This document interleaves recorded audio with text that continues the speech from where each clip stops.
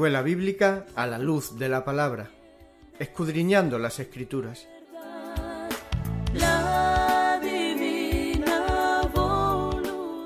Luz a las Naciones, canal cristiano de comunicación, presenta a la luz de la palabra. Un estudio expositivo de la palabra de Dios, una presentación minuciosa de toda la escritura. Porque es inspirada por Dios y útil para enseñar, para redarguir, para corregir, para instruir en justicia, a fin de que el hombre de Dios sea perfecto, enteramente preparado para toda buena obra.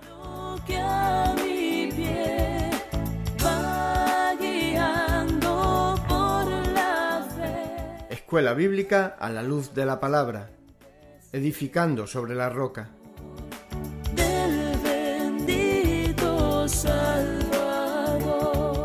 Primera carta del apóstol Pablo a Timoteo, por Juan Luis Vadillo.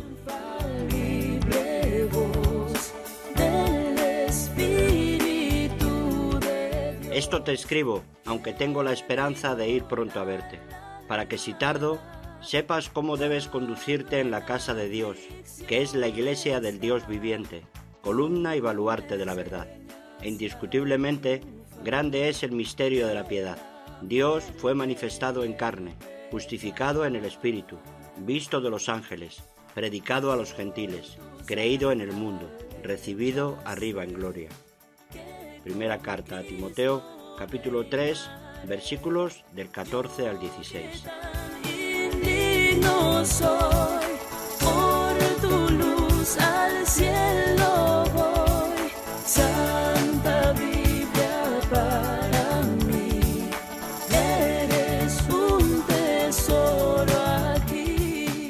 Bendiciones y bienvenido a toda la audiencia.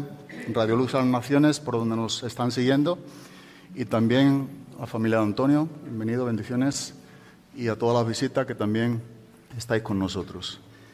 A mí me gustaría, antes de que pudiéramos exponer la palabra de Dios, no hacerlo antes sin dirigirnos a Él mismo en oración. Amén.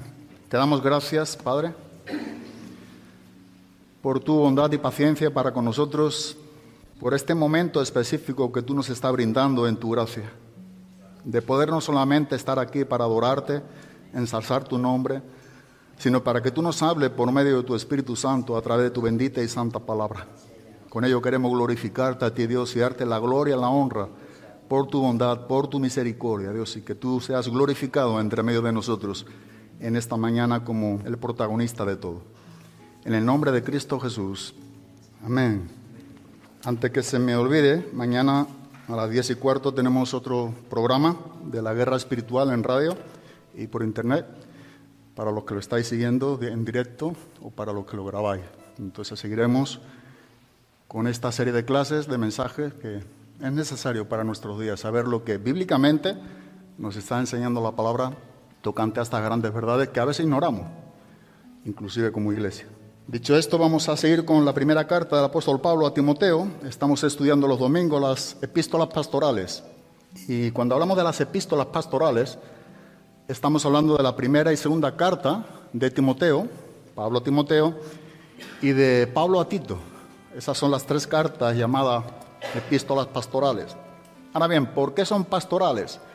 Bueno, porque se dirige a una persona con su nombre y porque está dirigiéndose el apóstol Pablo a una iglesia por medio de gente delegada por él, pero con consejos y doctrinas, con principios fundamentales para la iglesia, para que la iglesia sea conducida hacia toda la verdad, para que la iglesia sepa cómo conducirse en estos días. Y eso es algo muy importante que debemos de tener siempre presente. Pero me gustaría solamente para situarnos un poco en el contexto, y si Dios permite, hoy acabamos el primer capítulo, que es el versículo número 20, pero solamente a, grosso modo, eh, esta carta se compone de 113 versículos, que es la primera carta de Pablo a Timoteo, pero Pablo sale de prisión dos años en Roma, como hemos visto al final del libro de los Hechos, nos lo relata Lucas, quien escribe el libro de los Hechos de los Apóstoles, y cuando él va de viaje a Macedonia, él va eh, visitando iglesias que él había fundado, pero cuando llega a la iglesia de Éfeso, él se está encontrando con un panorama, decadente, tocante a principios bíblicos deteriorados, eh, fuera de su contexto, eh, tergiversando la palabra de Dios. Y lo que, lo que Pablo aquí roga a Timoteo es que se pudiera quedar en esta iglesia para que los que estaban enseñando en esa iglesia no enseñaran doctrinas falsas. Es decir, que los maestros, quienes estaban enseñando en esta iglesia, no estaban enseñando la verdad bíblica. Y hoy nosotros necesitamos la verdad bíblica como nunca. Porque hay muchas cosas aparentemente que son bíblicas, pero no lo son.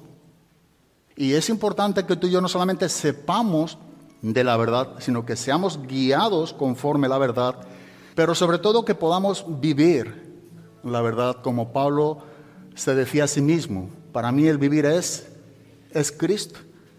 Y en estos días donde prolifera el engaño, las distorsiones, los beneficios propios, hoy es importante que nosotros expongamos como nunca, y aquí predicamos, solemos predicar siempre versículo a versículo, expositivamente, es como se debe predicar la palabra, es cuando vengo haciéndolo por años, para tener todo el consejo de Dios. Y a modo personal yo no encontrado nunca mejor manera de estudiar la Biblia por años, pero también de, eh, de exponerla.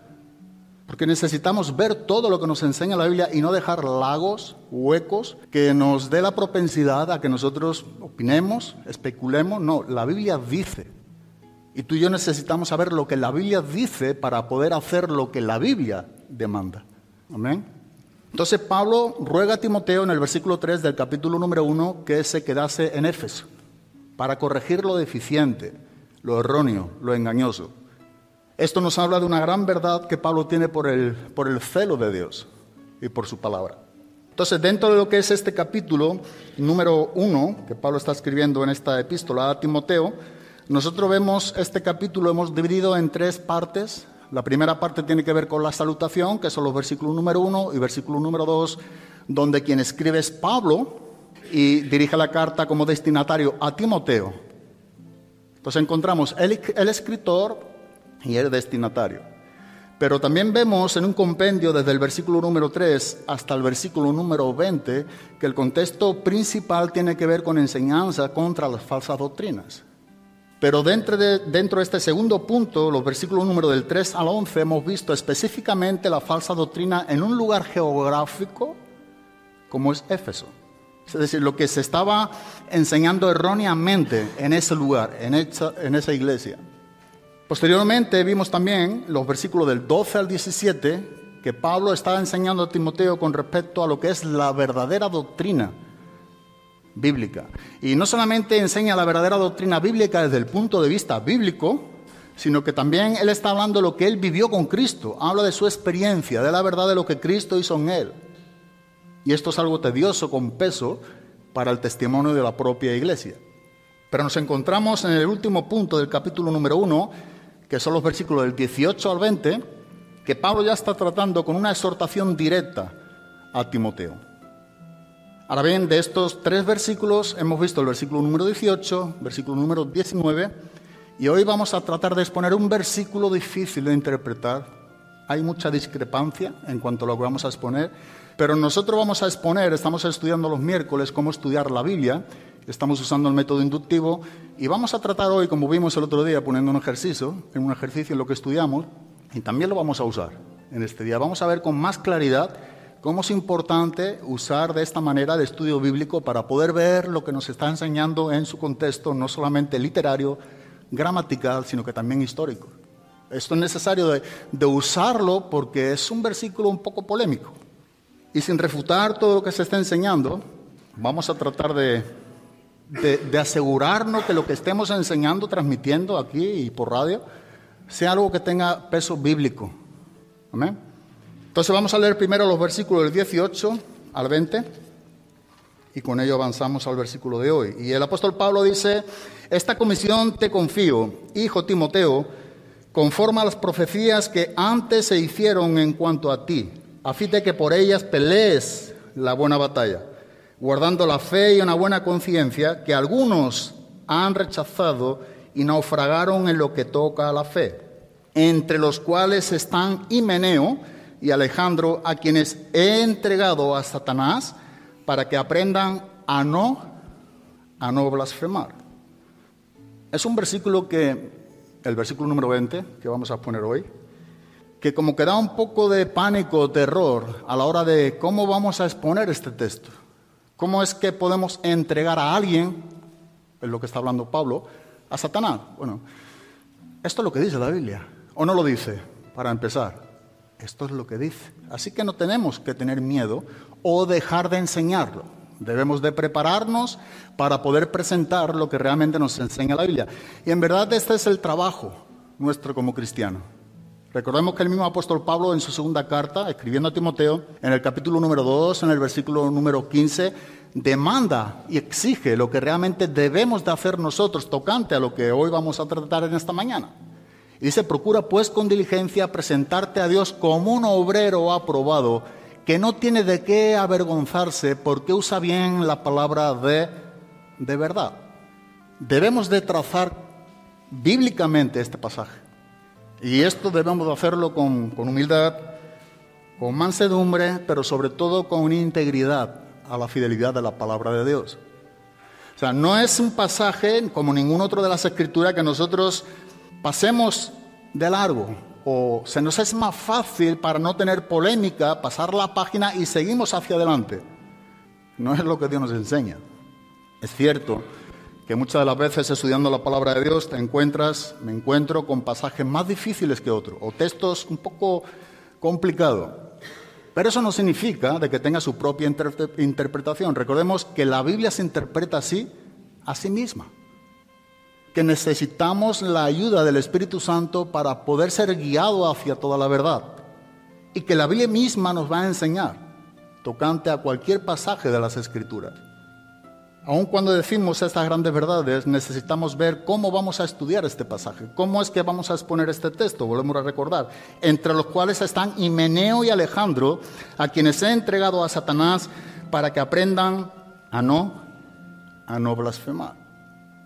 A mí me gustaría que primero, primero pudiéramos ver el contexto literario. Cuando hablamos del contexto literario, nos está hablando del contexto escritural, el que tú y yo observamos con nuestros ojos, el que es precedente y el que es posterior.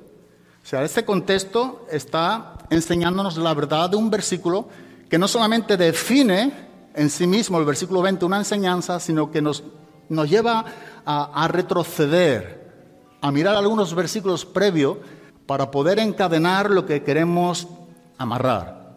Podemos decirlo en esta manera, poder ver lo que nos está enseñando esta verdad. Y en su contexto más inmediato, en lo que encontramos aquí en el más próximo son los versículos precisamente del 18 al 20. ¿Y qué es lo que nos está enseñando los versículos del 18 al 20, en este caso 18 y 19? Bueno, dice que lo que nosotros encontramos aquí es que nos habla de dos personajes, que es el que estamos estudiando en esta mañana, pero en plural dice que hay algunos. Primero, no solamente está tratando con Himeneo y Alejandro, sino que estos son los nombres destacados que Pablo está aquí enseñando para corregir, porque posiblemente eran quienes estaban enseñando la palabra en este tiempo. Pero el versículo 18 dice que esta comisión te confío en Timoteo conforme a las profecías que antes se hicieron en cuanto a ti, a fin de que por ellas pelees la buena batalla. Es el ánimo que Pablo aquí exhorta a Timoteo para que continúe en medio de las adversidades, conforme a lo que Dios tenía para con él. Pero dice cómo debe de hacerlo. ¿Cómo es que va a pelear esa buena batalla? Versículo siguiente, versículo 19. Dice que debe de ser guardando la fe y una buena conciencia que algunos han rechazado y naufragaron en lo que toca a la fe. Es decir, Pablo dice, para vivir esta y pelear esta buena batalla, tú debes de tener presente dos cosas importantes que nunca debes ignorar. Y precisamente es guardar la fe y tener una buena conciencia. Y ahora lo que Pablo sigue diciéndonos es un ejemplo de dos hombres que no guardaron la fe y que no se preocuparon de tener una buena conciencia.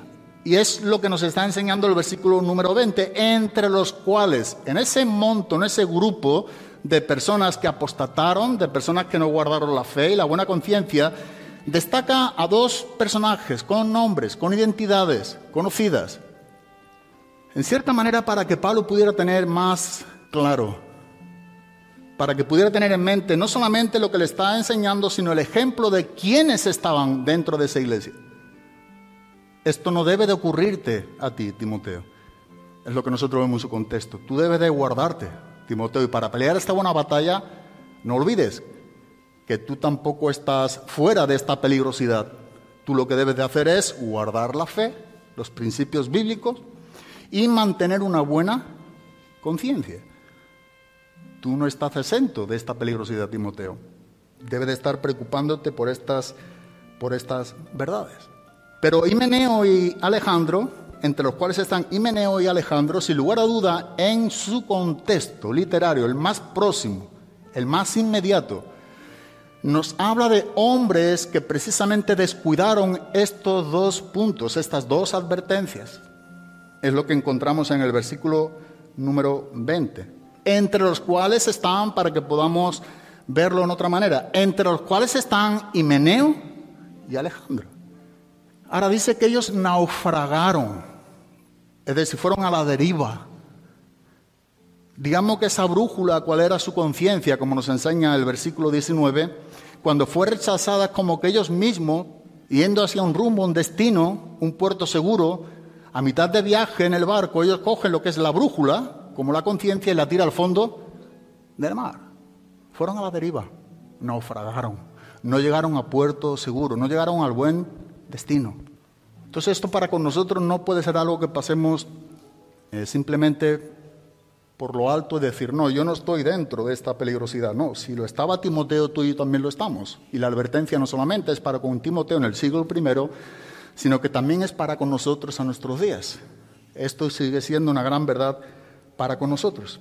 Ahora, este es el contexto más próximo al contexto inmediato, pero tenemos un contexto más amplio que retrocedemos al versículo número 3 del mismo capítulo. Y aquí es lo que nos hace entender que bien pudiera ser, muy posiblemente, estos falsos maestros quienes estaban enseñando falsas enseñanzas, es decir, herejías. Y dice en el versículo número 3, como te rogué al partir para Macedonia que te quedaras en Éfeso para que instruyeras a algunos que no enseñaran doctrinas extrañas, ni prestaran atención a mitos y genealogías interminables lo que da lugar a discusiones inútiles en vez de hacer avanzar el plan de Dios, que es por fe, así te encargo ahora.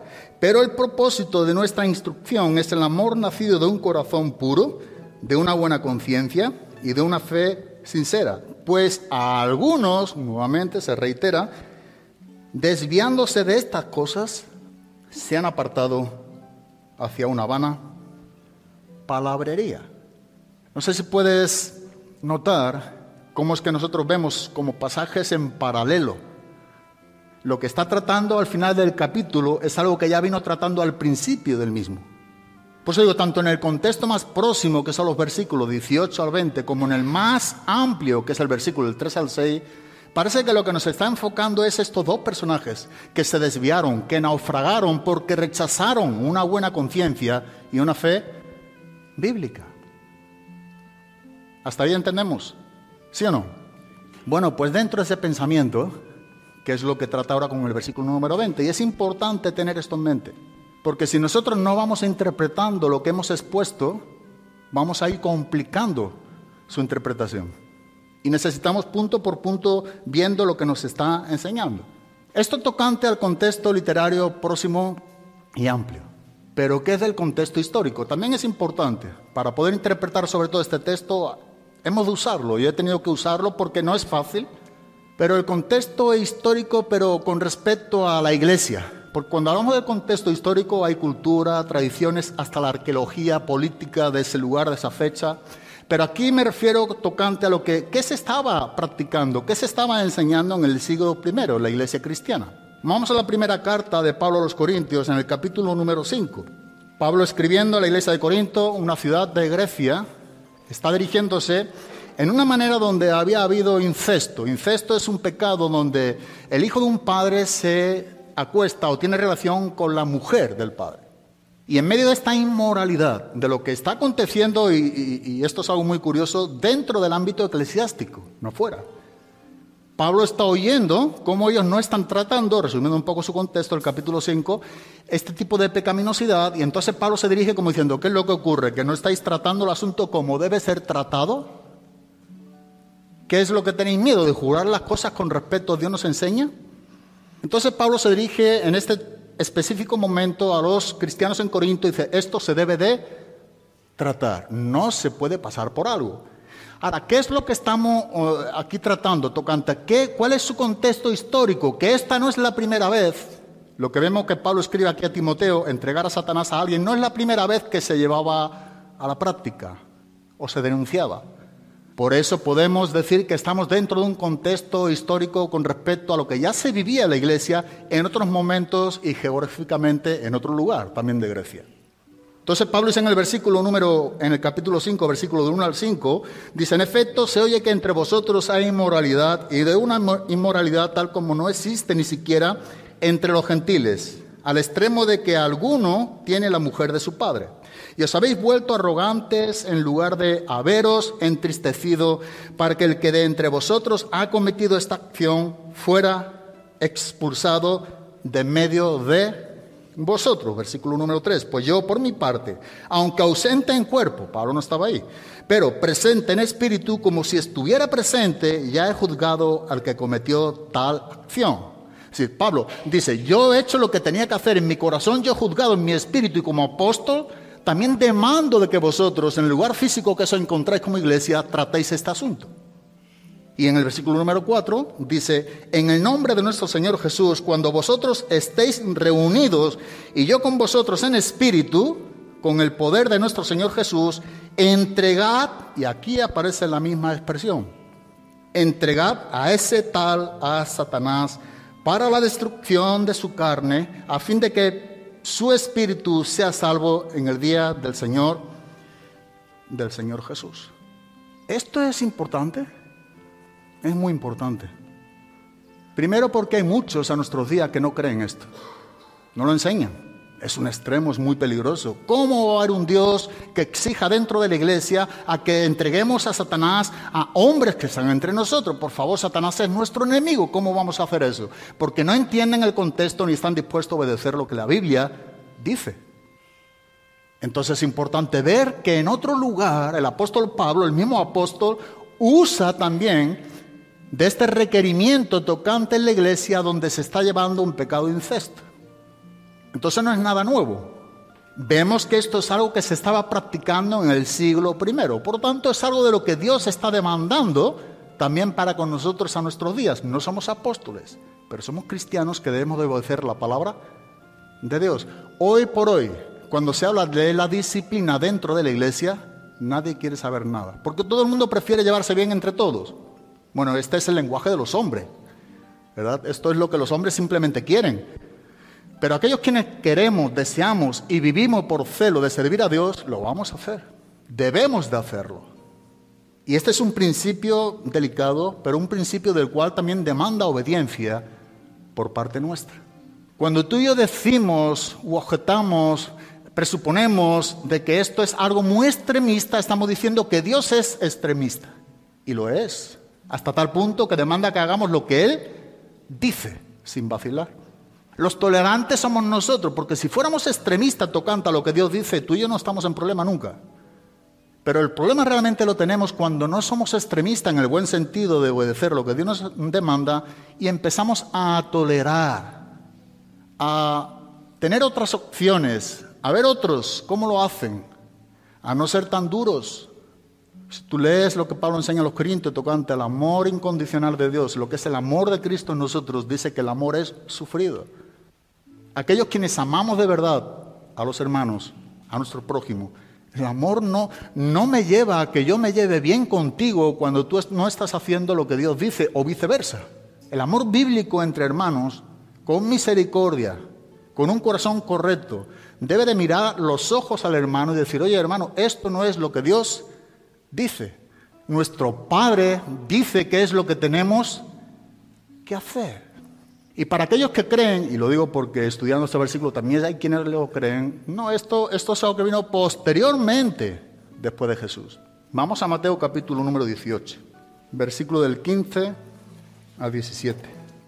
Entonces vamos a Mateo capítulo 18, versículo número 15 al 17 dice, y si tu hermano es Jesucristo mismo en primera persona, quien está enseñando aquí, dice, y si tu hermano peca, ve y repréndelo a solas. Estamos hablando de ser bíblicos y esto es algo que, que es un requisito. Ve y repréndelo a cómo? A solas. Y si te escucha, has ganado a tu hermano. Digo porque antes de llegar a la entrega a Satanás, se debe de practicar estos principios. Pero mira lo que sigue diciendo en el mismo pasaje, versículo 16. Pero si no te escucha, bueno, pues ya está, lo entregamos a Satanás. ¿Eso dice la Biblia? Tampoco. Tampoco es lo que dice la Biblia. Esto para que sepamos cuando Pablo está diciendo a Timoteo que se ha entregado, hasta qué punto ya se ha llegado, o cuáles son los principios o modo de exhortación y corrección se ha ignorado. Son estos. Por eso es en el versículo 16, pero si te escucha, lleva contigo a uno, perdón, pero si no te escucha, lleva contigo a uno o a dos más, para que toda palabra sea confirmada por boca de dos o tres testigos. Ese sería el segundo punto, versículo número 17. Y si rehúsa escucharlos. Ahora ya está, se puede entregar entonces. Tampoco. Quiero que veamos cómo Dios es un Dios amoroso y paciente con su pueblo, con su iglesia, con nosotros. Porque a veces hablamos de un extremo de cómo se debe de reaccionar. No. Estamos viendo en todo lo que es eh, eh, el amplio consejo de la palabra tocante a este principio. Y por eso las palabras de Jesucristo nos está dando un buen incentivo para que nosotros tengamos presente estas verdades. ¿Cómo es que debemos de llevar a cabo estos principios a modo correctivo? Primero, si tu hermano peca, repréndelo a solas. Si te obedece, o ha escuchado y ha ganado a un hermano. Segundo, pero si no te escucha, lleva contigo a dos o a uno o a dos más para que toda palabra sea confirmada por boca de dos o tres testigos. Y si rehúsa escucharlos, entonces ahora bien, ahora dilo a quién? A la iglesia.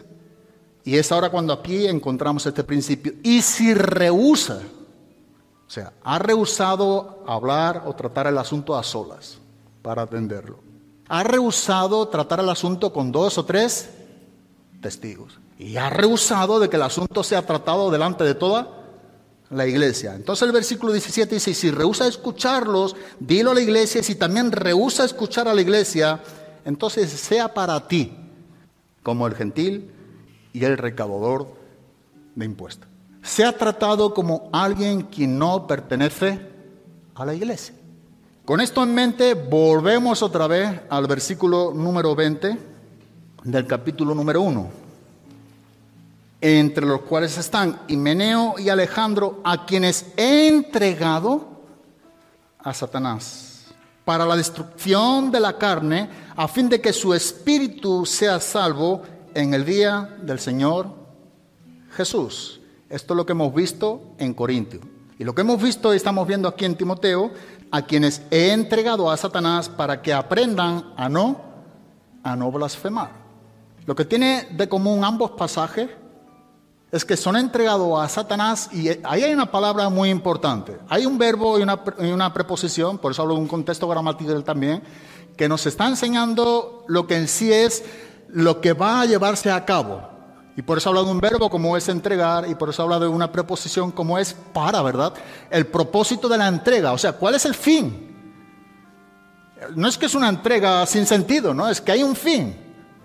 Y para que eso tenga un fin debe de haber un verbo. Y el verbo que se usa es para que sea entregado. ¿Y el fin cuál es? Siempre son las preposiciones, para un propósito. En este caso específico, para que aprendan, ¿no? blasfemar. Así que debemos concluir que tales hombres estaban blasfemando tocante los asuntos de Dios. ¿Cómo lo hacían? Distorsionando, tergiversando la palabra, la palabra de Dios. Pero tú y yo tenemos que conceptuar que esto es lo que nos está enseñando la Biblia. Esto es lo que bíblicamente nos enseña la palabra en nuestros días. ¿Existe la excomunión o poder expulsar de la iglesia a alguien por dicho pecado? Claro que sí. Este es el asunto que está tratando el apóstol Pablo. Este es el verdadero significado que realmente tiene por implicación eh, entregar a alguien a Satanás, es, es comulgarlo, ¿verdad? De la iglesia. ¿Y para qué es excomulgado de la iglesia? Bueno, porque dentro de la iglesia tiene una cobertura. Dentro de la iglesia, inclusive el incrédulo mismo, entre nosotros, quien no es cristiano, disfruta de bendiciones porque está entre medio de los santos. Esa es una realidad que vamos a ver. Aun cuando hay personas entre nosotros que no siendo cristianos disfruta de privilegios y bendiciones, eso es algo que Dios hace a favor de sus santos. Y por quienes están con los santos, también disfruta de ese tipo de bendición, de privilegios, de cobertura. Ahora, lo que está tratando aquí Pablo es entregarlo a Satanás significa que no tenga más esa cobertura que él mismo ha rechazado. ¿Entendemos esto? Es muy importante. Que él mismo ha rechazado, porque recuerda que el último punto es, preséntalo, dilos a quién? A la iglesia. Pero tampoco lo escucha. Entonces, algo que a veces no vemos tocante a esta doctrina, porque lo es, es que él mismo está exigiendo que se le expulse de la iglesia.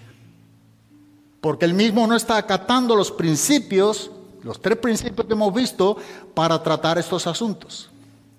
Y que Pablo, como ejemplo precedente, hemos visto, escribiendo a la iglesia de Corinto, dice que esto se debe de tratar. Y Pablo dice, no porque yo no estoy ahí, no debí de tratarlo, no, yo estoy ausente en cuerpo, dice, pero estoy presente con vosotros en qué? En el espíritu. Y aunque no estoy yo presente para tratarlo, cuando vosotros vayáis a tratarlo, yo voy a estar con vosotros. En cuanto a la enseñanza, al ánimo la exhortación, os mando, os exhorto a que lo hagáis. Es como se debe de tratar ese asunto. Entonces lo que nos está enseñando aquí Pablo, que tales hombres fueron excomulgados. Ser entregado a Satanás es que no tenga esa cobertura del pueblo de Dios que esté en el mundo en las manos de Satanás. Eso es lo que dice, eso es lo que dice. Que esté en el mundo fuera de la iglesia, en manos de Satanás significa de no tener la cobertura del pueblo de Dios, no tener el lugar donde pueda estar entre los que son bendecidos por Dios. Que sea enseñado al mundo, ¿verdad? Como un hombre que rehúsa tener los principios de Dios. Un hombre como que no quiere arrepentirse y que es entregado al mundo para que el mundo en sí mismo y quien gobierna este mundo como el príncipe de la mentira, quien es Satanás mismo, trate para con su vida, en el sentido en que aunque muera, aunque sea tratado de manera cruel, dice que su espíritu se salve. Es curioso, pero aún inclusive esta corrección tiene que ver con un principio, con una misericordia de Dios. O sea, en su dureza, él mismo no quiere estar con la iglesia, rehúsa ser tratado por Dios. Entonces Dios nos enseña dice, bueno, pues entonces, como dice Pablo Timoteo, que se ha entregado al mundo, a Satanás. Y que cuando se vea o sea, descubierto por completo, sin ningún tipo de, de cobertura, de respaldo, bueno, pues entonces él tendrá que solamente volver a Dios cuando de verdad tenga un verdadero arrepentimiento genuino. Que esta es la única manera en que uno puede restablecer la relación con, con Dios. No hay otra. No hay otra.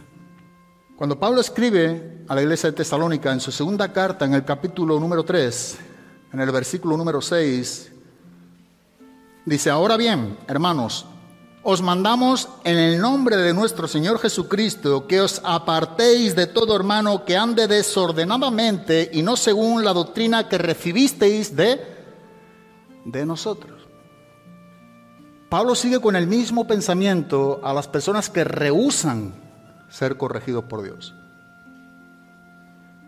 Y una de las cosas que no debemos olvidar es que Dios a quien ama lo disciplina.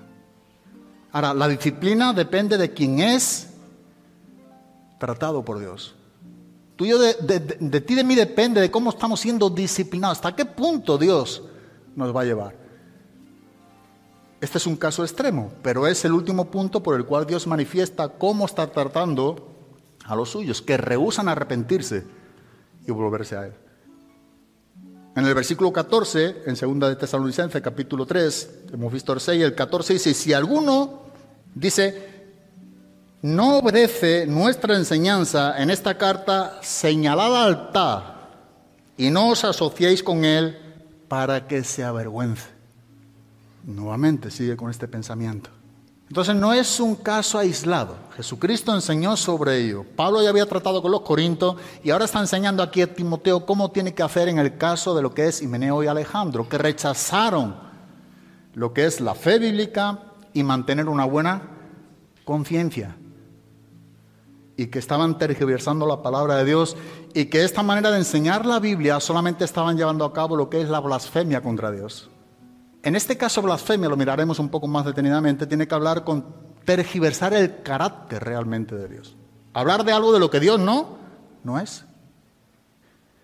Ahora veamos un poco que es personalmente estudiando y eh, por largo rato este versículo, no es fácil, pero lo que a mí me ha arrojado más luz es en cuanto a la gramática. Las dos palabras importantes que vamos a ver de manera muy sencilla, no es nada complicado, pero ha sido necesario porque hay textos que no los interpreta bien, a menos que realmente sepa lo que nos está enseñando en sí esa oración, o esa frase, o ese verbo, o esta preposición que vamos a ver. Pero mira como dice nuevamente en contexto gramatical, usa un verbo que es entregar, a quienes he entregado a Satanás. Este verbo en el griego, que es la palabra paradidomi, en griego, habla algo muy peculiar. Y lo que nos está enseñando es de abandonar, quitar la protección. Todo lo que estamos diciendo. Entregar o quitar las manos. Cuando Pablo dice que es entregado a Satanás, lo que está enseñándonos es que en medio de esa entrega, Dios está quitando la protección de quién? De la propia iglesia de donde estaba siendo excomulgado, echado fuera. Estaba siendo entregado, estaba quitándose las manos de esa vida, estaba siendo abandonado por su reverdía de no quererse arrepentir al consejo de Dios, de lo que estaban haciendo incorrectamente. Y esta es la idea que Pablo está enseñándonos aquí no tener la cobertura de la iglesia, estar sin protección de la propia iglesia. Pero algo más que nos enseña este verbo, y un poco más de manera minuciosa, eh, mirando la derivación de esta palabra, hay algo también que me ayudó, puse junto a esta definición, porque es cuando alguien es apresado. Cuando se deja a alguien preso en una cárcel, se usa esta palabra también, paradidomia. Se está encarcelando a alguien por un motivo para que no disfrute de esa libertad que tenía dentro de la iglesia y que Dios le estaba brindando para que se arrepintiera. Entonces esto es lo que involucra también, un encarcelamiento. Entonces entregar a alguien a Satanás indica que ellos no habían estado antes también completamente en su poder. Esta es otra, otra verdad que a veces no la apreciamos, pero cuando dice entregar a alguien a Satanás, habla de que precedentemente ellos no habían estado antes completamente bajo el señorío, bajo el poder de quién? Del mismo Satanás. Cuando tú y yo leemos en la primera carta de Juan, en el capítulo número 5, en el versículo número 19, dice que el mundo entero está bajo quién? Bajo el maligno. Que los incrédulos, Pablo enseña a los efesios, Caminan conforme al príncipe de la potestad del aire, el espíritu que ahora opera en los hijos de desobediencia, dice Efesios capítulo 2, versículo número 2. De modo que quienes son entregados a Satanás deben de haber estado de alguna manera bajo la protección de la iglesia. Como quieran, nosotros tenemos que entender algo, que cuando son entregados a Satanás, primero, no han estado bajo ese rendimiento, esa esclavitud completa a Satanás, y esto no está hablando de antes de conocer a Cristo, lo que nos estás hablando que alguna protección, alguna cobertura dentro de la misma iglesia tenía. Por eso cuando es entregado es desprovisto de los privilegios o la cobertura de la iglesia. Pero cuando nosotros decimos o hemos dicho, he comentado, de que aún inclusive los mismos incrédulos, cuando están dentro de una iglesia, dentro de los hijos de Dios, dentro de los santos, los redimidos de Cristo, ellos mismos disfrutan de unas bendiciones aun cuando ni siquiera son conscientes. Y Pablo está tratando con que esto es precisamente lo que es quitado de aquel quien es entregado a Satanás. Recuerda lo que Pablo está enseñando en, en el capítulo 7 de Pablo escribiendo a los Corintios, cuando dice que el marido incrédulo es santificado por medio de la mujer creyente y que la mujer incrédula es santificado por medio del marido creyente. De otra manera, dice el apóstol Pablo, vuestros hijos serían inmundos. Pero ¿por qué son santificados? Por medio de aquel quien es creyente en el matrimonio. ¿Qué nos está diciendo esto? Yo pensaba, leyendo esta porción de las escrituras, digo, eso es lo que nos está enseñando. Pablo dice, mira, aun cuando hay un matrimonio, que uno de los dos es cristiano, el inconverso sin saberlo o sin saberlo, La mujer sin saberlo, el hombre, quien sea el cristiano, sin saberlo él o ella, está disfrutando de una santificación. No son salvos, ¿eh? pero está disfrutando de una cobertura, de unas bendiciones de Dios, que Dios está dando a quien, a su hijo o a su hija, y que la mujer en sí, aunque cuando no es creyente, disfruta bajo ese techo de la cobertura que Dios tiene con su hijo o con su hija. De la misma manera también tiene una cobertura con sus hijos, porque de otra manera Pablo dice son inmundos. Sin embargo, dice son santificados. Tampoco son salvos, pero tiene la oportunidad y tiene la gracia de Dios día tras día de que puedan ser salvo. Por eso hay persona que dice, bueno, yo es que mi mujer no quiere saber nada de Dios, mis hijos tampoco. Pero mira, tus hijos y tu mujer tienen un grandísimo privilegio, aun cuando no lo ven, de cómo Dios está bendiciendo sus vidas, cómo Dios las está guardando, por medio de que tú sí que eres creyente, o viceversa. ¿Y qué es lo que nos enseña? Nos está enseñando esta, esta misma idea. En el ámbito de iglesia, en el eclesiástico lo mismo. Aquí hay cristianos y hay otros que no son cristianos. De la misma manera, los que no son cristianos disfrutan de unas bendiciones que no le corresponden porque no son cristianos. Pero eh, al estar bajo el techo de los santos y cuando Dios derrama una gracia común, ellos reciben ese privilegio. Algunos tristemente se confunden y creen que ya por esto son salvos. Y esto no es lo que nos enseña deben de arrepentirse, cada quien de los hombres en el planeta Tierra debe de tener una comunión íntima con Dios y un arrepentimiento personal con Dios a través de Jesucristo.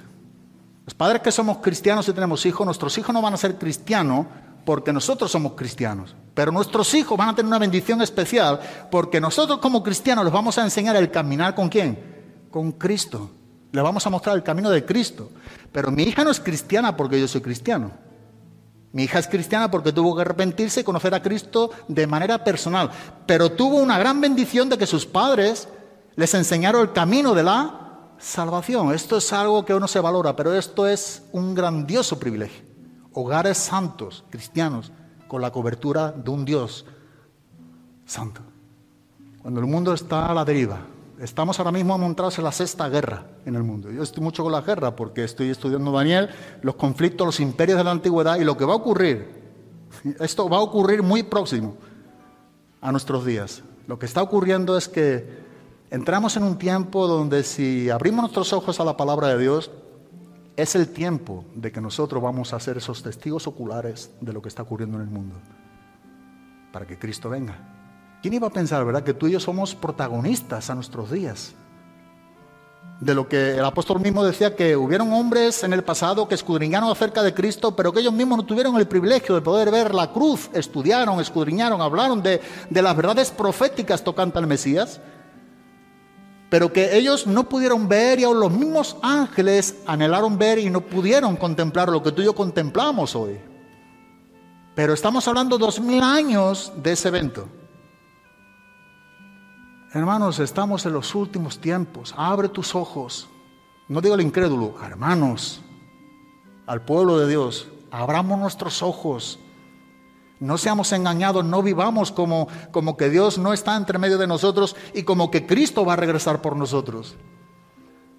Seamos esa novia vestida de limpio, fino y resplandeciente, sin mancha y sin arruga, que está siendo santificada por la mano providencial de Dios estemos con esas lámparas encendidas para el regreso de nuestro Señor. Que seamos una iglesia sensata, que tengamos aceite en nuestras lámparas, para que cuando a mitad de la noche se oiga el clamor, ahí viene el esposo, tú y yo estemos seguros con quién nos vamos. Antes recordaba esta alabanza que hemos cantado, no pondré mi confianza en la carne. Qué, qué especial. Es una alabanza que he escuchado últimamente en la despedida de hermanos que han estado en el ministerio con nosotros por muchos años, desde los principios de la obra. Y esta alabanza me hacía recordar ese momento que se tocó también en el último entierro que tuvimos con el hermano Rufo que partió con Cristo. Es especial cuando tú y yo estamos centrados en lo que realmente también somos llamados a nuestros días.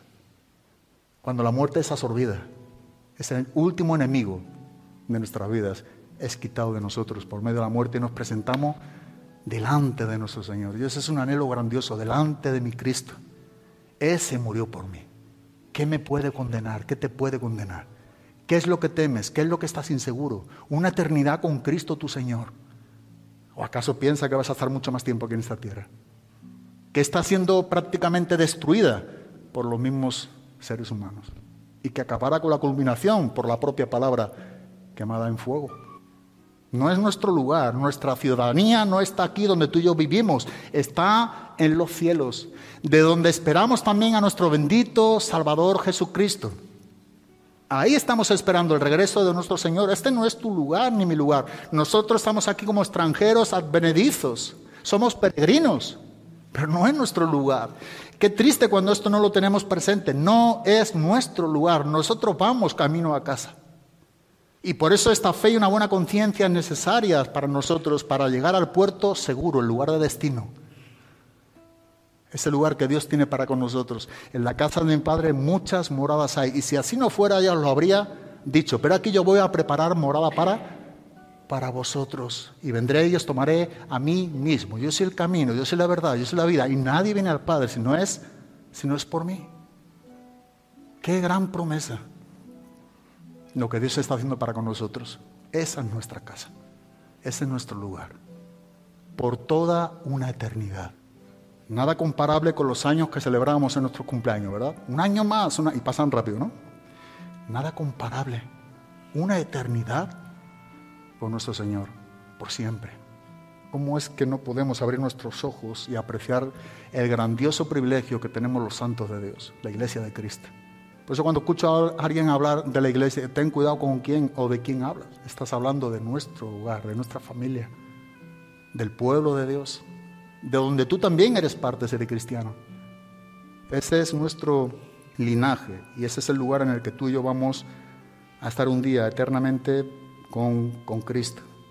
Así que estos privilegios y estos beneficios, esta cobertura, es lo que Pablo está enseñando que le va a ser quitado de la vida, en este caso, de Himeneo y de Alejandro. Sin lugar a duda podemos ver que lo que ellos están tratando aquí, en este caso Pablo con Timoteo, es un asunto de no ser fieles a la predicación.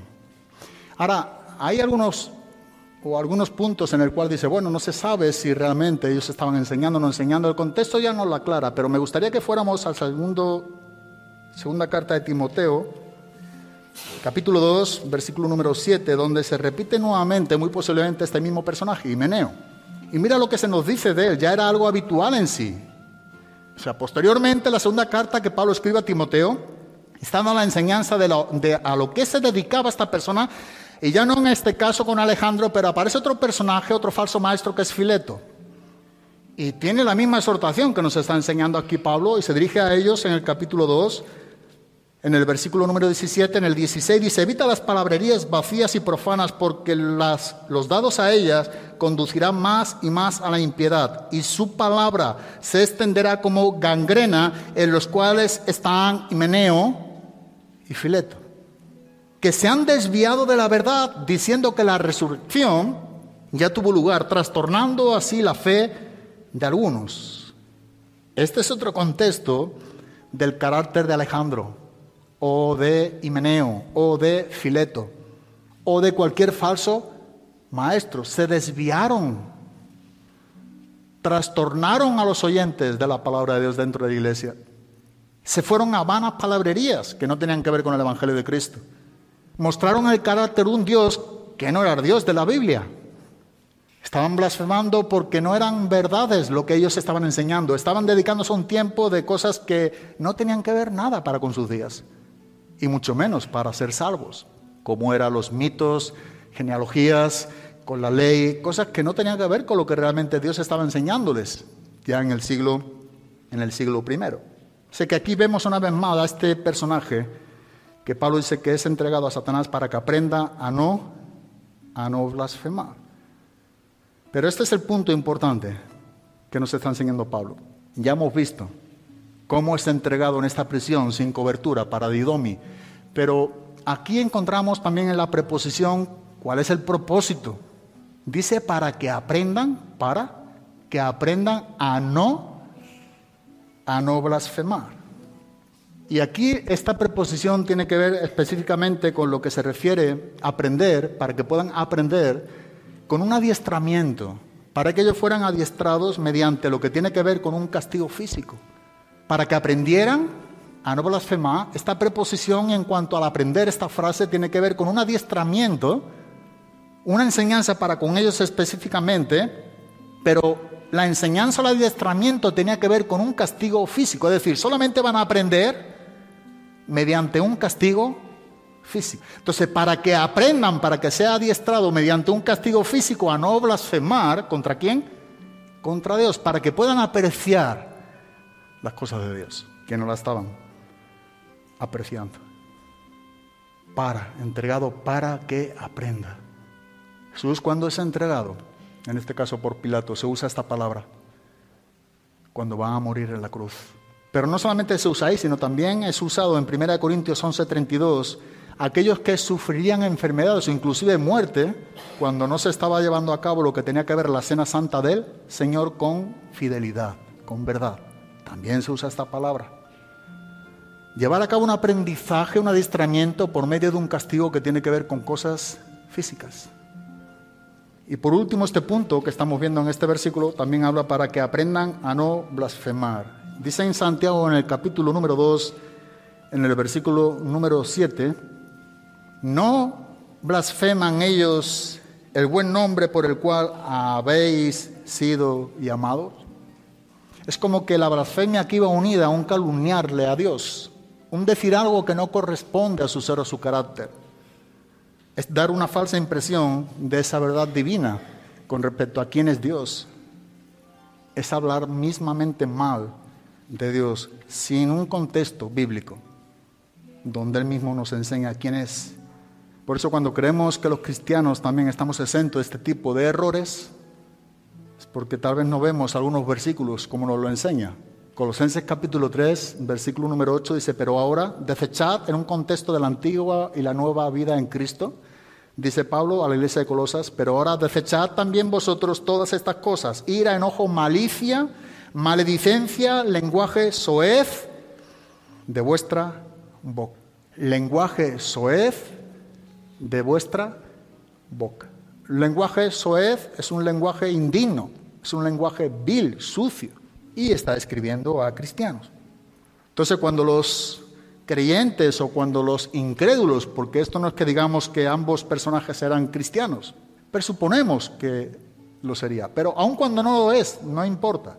Dios está tratando con ellos una entrega, porque lo que tenían en medio de la iglesia les había sido quitado para que aprendieran a no a no blasfemar. Personalmente creo que estaba en el asunto de la iglesia por algo, que se han desviado ellos mismos por lo que nos enseña, porque rechazaron algo que tenían. Tú no puedes rechazar algo que no, que no tiene.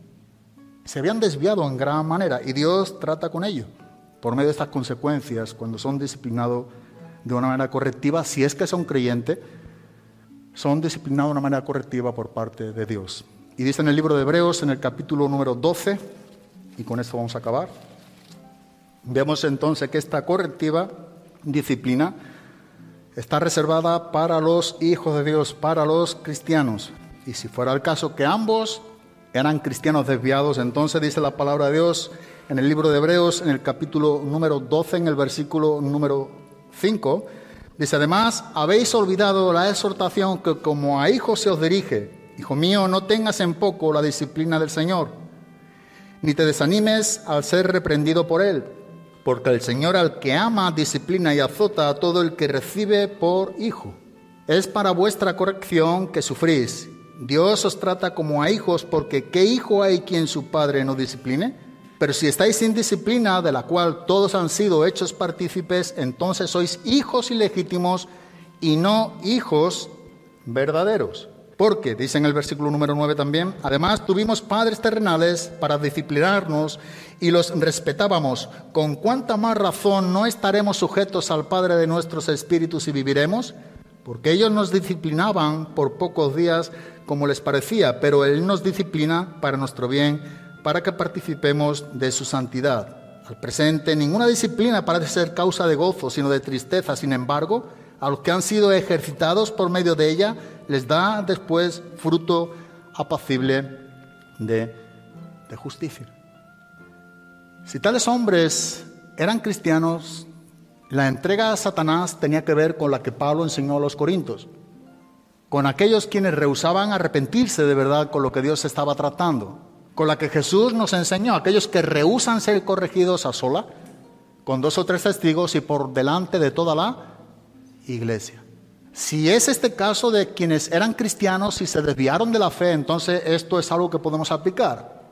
Dios al que ama disciplina y está tratando de una manera drástica la disciplina suya en sí mismo para llevarles a un punto donde ellos puedan regresar a Dios con un verdadero arrepentimiento. Esto mostraría que no son hijos ilegítimos, sino que son legítimos. Pero si fuera el caso en que no eran creyentes, de la misma manera lo que Dios está haciendo es te queda sin cobertura de la iglesia donde tú has estado disfrutando de las bendiciones de Dios. Ambos aspectos creo que son válidos. Yo personalmente creo que lo eran. Pero si no lo fuera, también tenemos el otro punto. Ahora, lo importante aquí es entender lo que estamos estudiando. Y lo que estamos estudiando es que tales personas fueron entregados a Satanás con un propósito, para que aprendieran a no, para que aprendieran a no, a no blasfemar. Entonces, para acabar, de modo para tomar una aplicación, una conclusión para con nosotros qué es lo que nos está enseñando este pasaje. Y ahora bien, viendo todos los versículos, del 18 al 20 cuanto menos, lo que nos está enseñando es cómo tú y yo podemos evitar ser entregados a Satanás. Es una buena pregunta a modo aplicativo. Y la, la respuesta la tenemos ahí mismo, manteniendo una buena conciencia y una fe no fingida. Es como tú y yo evitaremos ser entregados a Satanás, porque si tenemos una fe bíblica y mantenemos una buena conciencia, cosas que fueron eh, desechadas por, ambos personajes, por eso naufragaron tocante a la fe, si nosotros mantenemos lo que ellos desecharon, rechazaron, entonces significa que estamos en lugar correcto. Por eso es importante que tú y yo tengamos una fe limpia, honesta, no fingida, verdadera, y una conciencia que tenga sensibilidad a la voz a la voz de Dios. Eso es lo que Pablo está enseñando acabando aquí el versículo número 20 del capítulo número 1. No seamos, en este caso como Himeneo y Alejandro, que rechazaron esa fe y esa buena conciencia y por la cual ellos fueron entregados a Satanás para que aprendieran a no blasfemar. Seamos una iglesia sensible a la voz de Dios, que no solamente sepamos los principios bíblicos y los apliquemos, sino que mantengamos una conciencia limpia, sensible a la voz de Dios a nuestros días. Amén. Pues te damos gracias, Padre, por tu palabra, por la Biblia, por lo que tu Espíritu Santo haya podido hablarnos en esta mañana a cada uno de nosotros. Si hay algo que podemos aprender de lo que hemos expuesto, es que queremos y deseamos, necesitamos sensibilidad a la voz de tu Espíritu. Necesitamos mantenernos en una fe que no es fingida, que no es con hipocresía, sino una fe honesta, limpia, sincera. Una fe que proviene de tus principios, de esos fundamentos bíblicos a nuestras vidas cristianas. Ayúdanos a mantenernos en esa buena conciencia. Una conciencia que que esté sensible a, nuestros hechos, una conciencia que habla a nuestros corazones, una conciencia que esté sujeta a tu palabra y una vida que no viole nuestra conciencia, que realmente sigamos en sintonía a ella, que hagamos lo que realmente tú demandas en tu palabra para con nosotros y rehusemos o rechacemos lo que tú también requieres de nosotros. Señor, ayúdanos a vivir con un corazón puro, limpio un corazón que busque amarte, servirte, Dios, y, y que sean unos tiempos donde recordemos los grandes privilegios que tú le, le has dado a tu iglesia, aún en medio de las dificultades, de los tiempos difíciles, tiempos peligrosos. Sabemos que tú eres quien está con nosotros. Y si tú estás con nosotros, ¿quién contra nosotros? Señor, te doy gracias por tu iglesia, allá donde quiera que se encuentre en todo el planeta Tierra, por tu iglesia, por tu pueblo. Que tú bendigas y guardes, Dios mío, cada uno de sus miembros. Oh Dios, derrámate una bendición especial sobre ella y fortalece tú a quienes están pasando por momentos difíciles de persecución, de hostilidades. Que tu gracia sea derramada en sus vidas, Dios. Gracias por Cristo.